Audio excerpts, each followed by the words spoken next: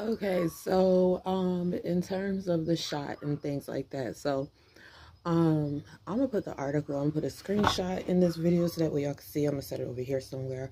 But y'all remember back whenever this whole thing first came out, everybody, well, they touched on it a little bit, but then after that, like you didn't hear about it no more to where it was talking about there being nanoparticles inside of the shot. And um I feel like a lot of the articles and things that they put out like that in terms of health wise are true but it's one of those things to where they have to tell you about it but they can't tell you too much about it in terms of what's going on you know? Just know that this is what we got but you know we ain't gonna tell you what it is that we're doing with it in terms of um, with your body and things like that. So i think that in terms of the shot um, those um, could possibly be inside of it in terms of nanotechnology and then you know that anything that's being injected into your bloodstream is able to travel throughout your whole body. So, say for instance, okay, you go and get the shot, you get injected with these nanoparticles, okay, from what I believe, this is opinion video, but you get injected with these nanoparticles. Um, and say for instance, you're a person that's already sick, you already have something in terms of underlying disease or something like that. Um, wouldn't it possibly would be well that this could affect like your blood flow? Like say for instance if they wanted to restrict a certain part of your body from receiving blood or um, because especially if you live in a co uh, colder climate during this time your blood's already going to be restricted because of the cold um, so if you're not warm, your body's going to be cold, and that's going to restrict your blood flow.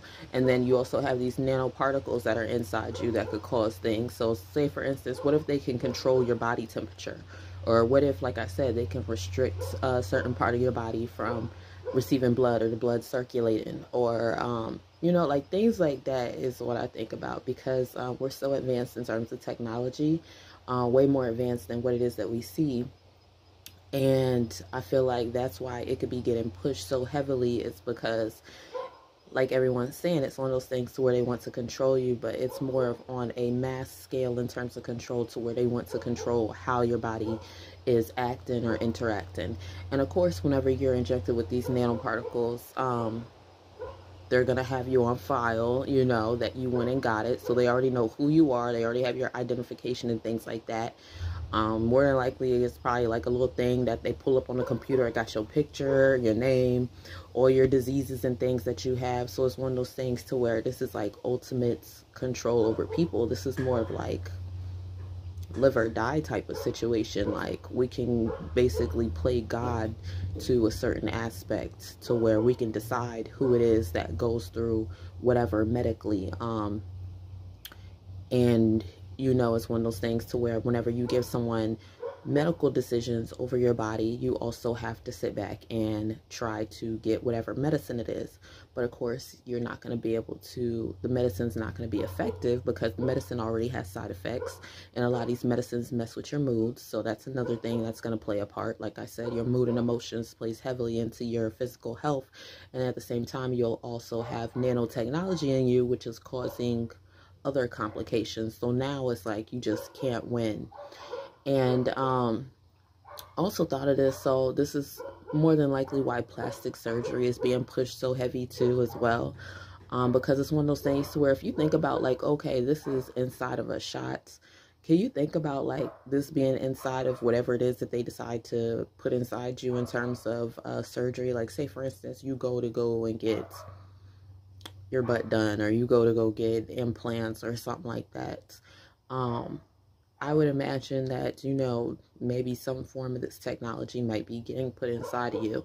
So, say for instance, if you're one of these celebrities and um, your PR team is pushing you to go and get whatever surgery okay, now you don't want to got the surgery, but you also got injected or nanotechnology put inside you. So say for instance, you're not doing what it is that they want you to do in terms of um, in the music world. We'll say it's one of y'all music artists. So if you're not doing what it is that they want you to do in terms of putting out new music, um, going and parading yourself and making yourself look a certain way, then we're going to deflate one of your we're gonna deflate whatever it is you know what i'm saying um we're gonna cause whatever it is to leak um we're gonna cause you know some sort of medical mishap to happen and you're not to know why it's happening. You're to be like, oh, well, I got these injections or I got these um, implants like last month. What's going on? Um, ooh, these dogs is going crazy. But what's going on is the fact of you decided to go and put uh, whatever technology it is inside your body. And that's just confirmation. And um, now they have full control over your body because um, you have to think they do have um, certain implants to where you're able to just like expand or retract them. Um, so just think of it in that type of situation to where, say, for instance, they wanted to make something happen with whatever it is that you decide to get surgically. Um, so you just have to make sure that you are very aware of yourself and it's one of those things to where um, you need to be happy with your body and what it is that you have but unfortunately it's one of those things to where if you are in Hollywood or if you're one of these artists or if you're an actor or something like that you have a lot of people that's pushing you to look a certain way in terms of your image and it's one of those things to where you might not want to make those changes but in order for you to make it to the next level in terms of your career you have to make those changes. So now it's playing with you psychologically in terms of making you feel down about yourself you know and then now it's also pushing you to go and make decisions that you don't want to make. And then once you do decide to make those decisions now you're putting yourself in terms of your health in jeopardy because now you are putting whatever it is inside of your body in terms of what it is that they're doing. So, um, yeah, that's just, I don't know, that's just one of the downloads that I got. It's just my opinion. Um, y'all let me know what y'all think. But yeah, that's just my opinion on it. Um, because there's just a lot going on and it's like, it's definitely a spiritual warfare, mental warfare, psychological warfare, emotional warfare. It's all in one. So, um, it's definitely a lot. And say, for instance, even during this whole situation that went on with um, the whole shot thing, and you see how people like, um, one of the things is that people were losing their jobs. That plays a heavy part in terms of somebody psychologically and also mentally. And then um, now, in order for you to get a job, you know what I'm saying, at certain places, you have to get this shot. So it's one of those things to where now they have control over you in some way, shape, or form because now you're getting injected with these nanoparticles and this could affect your mood and affect how it is that you operate on a daily. So say for instance, you could be the calmest person whenever you go to work, but then somebody will do something that'll irritate you. Then next thing you know, just by you having this nanotechnology in you and them having control over you, you're doing things that you would normally do. You go and you decide to slap the shit out your boss or something like that. Next thing you know, you're going to jail or you done lost your job. So now next step is someone um, deciding to start getting into drugs that they shouldn't get into. Next thing you know, you know, so it starts a whole spiral downhill. And next thing you know, it leads to death. Um, what else? Uh, cause I had another thing that I was gonna say too, but I just like forgot it a second ago.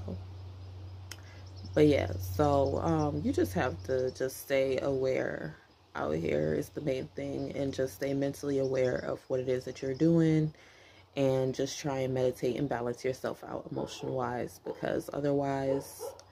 Um, it could be one of those things to where just based upon them constantly pushing this shot, you might end up being one of those people that ends up being imbalanced. And then next thing you know, you're in a circumstance that you wouldn't have even thought that you would be in. But just because of the electromagnetic waves, the nanoparticles inside you, and I'm pretty sure the nanoparticles are going to be responding from the electromagnetic waves that are being pushed. So it's one of those things to where these nanoparticles are going to respond to the 5G. So regardless if you go and get this shot, you're basically um, linking and linking yourself with technology in some way, shape, or form.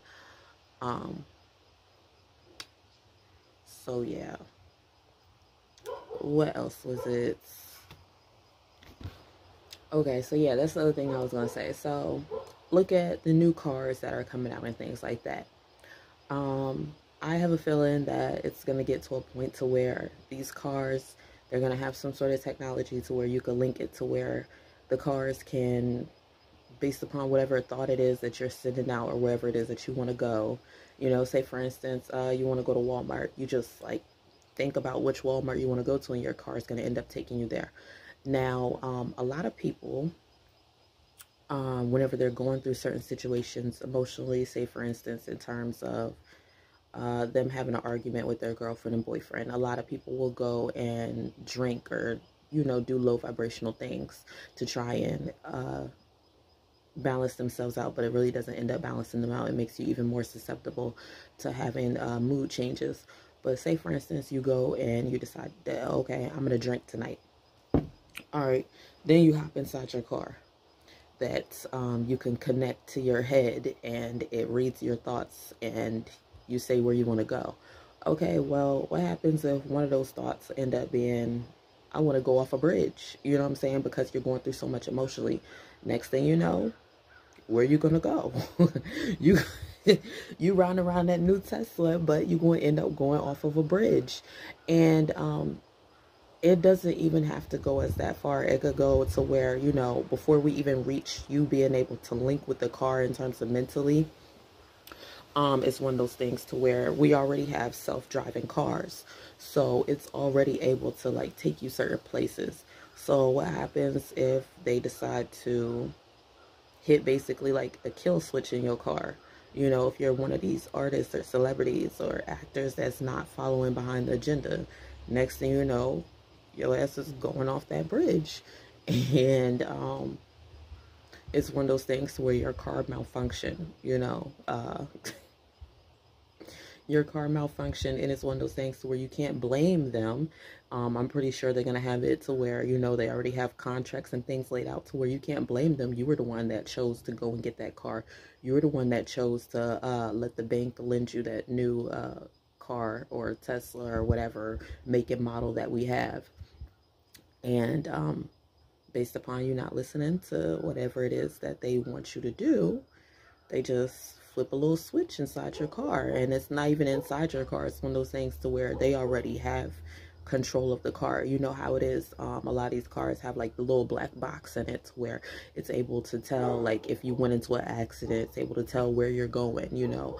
Um, so it's already linked to that company that lent it out to you. So um, and then whenever you research that company that lent it out to you, it comes linked back to one of these elites. Um, so, I don't know. It's just something to look out for. And the dogs are going crazy, so that must be confirmation. But anyways, um, comment, like, and subscribe, and I'll see y'all in the next video. Peace out.